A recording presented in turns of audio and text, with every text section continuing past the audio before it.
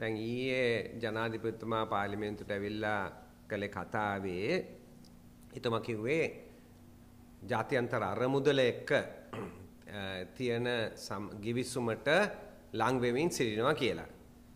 අපි ඒක ගැන කිසිම වාද විවාදයක් නැහැ.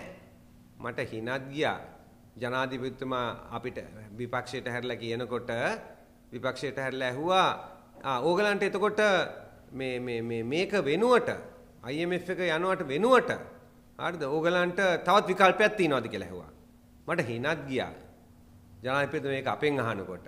ජනාධිපතිතුමාට තෙප්පෙන්නේ අපේ පැත්ත හැරලා අහන්න නෙමෙයි. ජනාධිපතිතුමාට තිබෙන පළවෙනි පේලේ ඉඳලා අනිත් පැත්තට හැරිලා ඒගොල්ලන්ගෙන් අහන්න. ඒගොල්ලන්ගේ ආණ්ඩුවෙන් මේ IMF එකට ගියේ නැත්තේ. අපි දිගින් දිගටම කිව්වේ. හරිද? ජාත්‍යන්තර අරමුදලට යන්න ඕනේ. අරමුදලට යන්න ඕනේ කියලා අන්තිමට ගියේ අගෝස්තු මාසයේ ගියේ ගිය අවුරුද්දේ ගිහිල්ලා තමයි ඒක නිලධාරි මට්ටමෙන් යම්කිසි අවබෝධතාවයකට ඇවිල්ලා මාස 6කට පස්සේ දැන් මාර්තු මාසයේ තමයි ඒක IMF එකේ විදායක සභාවට යන්නේ බෝඩ් ඔෆ් ඩිරෙක්ටර්ස් වලට යන්නේ. ගිහිල්ලා අපි ප්‍රාර්ථනා කරනවා IMF එක තියෙන ගිවිසුම අපි දිගින් දිගටම ඉල්ලලා තියෙන දෙයක් මේක කරන්න කියලා.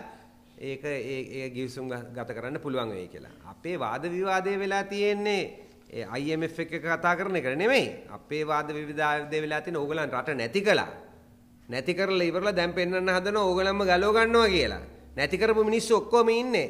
රනිල් වික්‍රමසිංහ ජනාධිපතිතුමා ඉන්නේ. අර පළවෙනි මේවකේ දෙපැත්තෙම ඉන්නේ නැති කරපු මිනිස්සු පිටිපස්සෙන් තින්නේ නැති කරපු මිනිස්සු. හරිද? ඒගොල්ලන්ගෙන් අහන්න ඕනේ ඇයි මේක නැති කළේ කියලා. අපෙන් අහන්නේ නැතුව අපි මේ දිගින් දිගටම කිව්වා කිව්වා මේක වෙනස් කරන්න ඕනේ කියලා අපි සඳහන් කළා.